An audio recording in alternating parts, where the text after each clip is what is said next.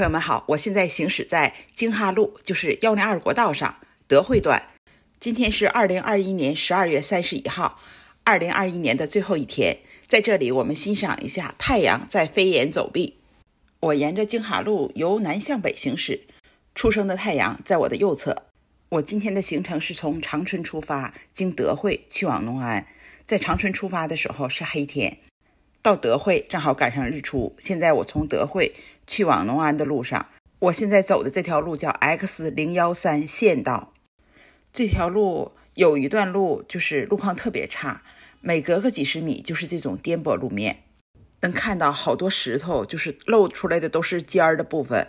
然后就是走在这上面，你就特别担心会不会爆胎。这是在考验车的性能，也是在考验我的驾驶技术。这样的路况，从边杠乡到靠山大桥，距离大约是十六公里，走了一个多小时。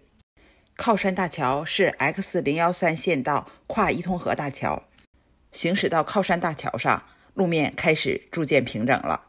桥的右前方有一个牌子，这里写的是农安界，这里是德惠和农安的交界处。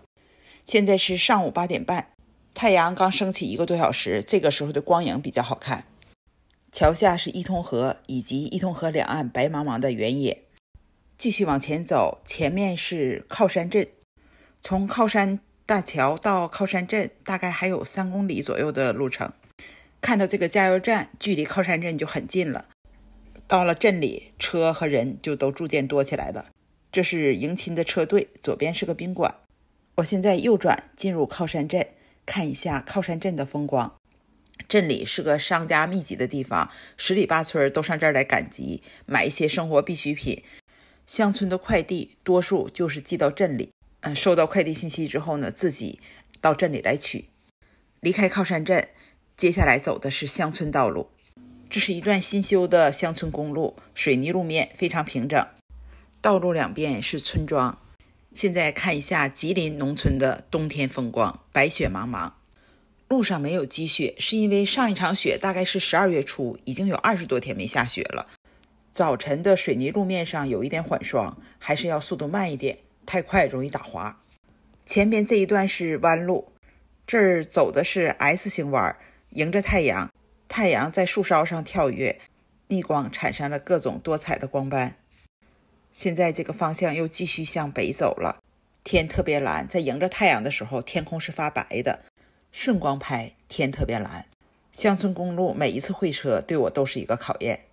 现在我们进村了，这是我们乡村游的第一站。之前的拍摄都是在车里隔着玻璃拍的，现在我下车拍一下乡村风光。这是村间的小路，就是只能走一排车。会车的时候就得找谁家院子前宽敞的地方停下，然后另一台过去。掉头也需要找一个宽敞的地方。前面这个小路风景挺美的，两棵树抱在一起，一条小路伸向远方。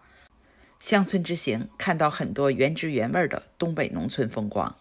这一期视频就分享到这里，朋友们再见。